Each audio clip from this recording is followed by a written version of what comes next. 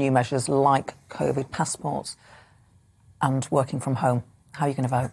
I'll vote against. I voted against all of these lockdowns, all of these restrictions, except the first one. I understand why, when the pandemic hit to begin with, none of us knew what we were facing, and the government was right to take action.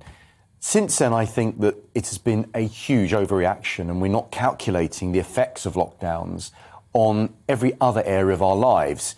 Uh, not least on education, on mental health, in terms of the economy. And, and this latest, I, I'm puzzled by it because the evidence isn't there that this new variant is going to be catastrophic. In fact, the evidence so far is the opposite, that it's a mild uh, form of COVID. So, why at this very point, when uh, we're looking forward to Christmas, when businesses are really at their peak in terms of what they need to do for Christmas, to then restrict things, I don't really understand why we're doing it. And so, in all honesty, I have to vote against this. I believe we've got to move on. We've got to get life back to normal again.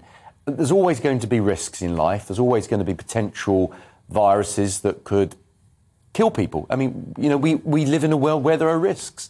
But I don't think the risks are so great that we need to keep changing the way we live our lives. We have to, as we do in Britain, we have to keep calm and carry on.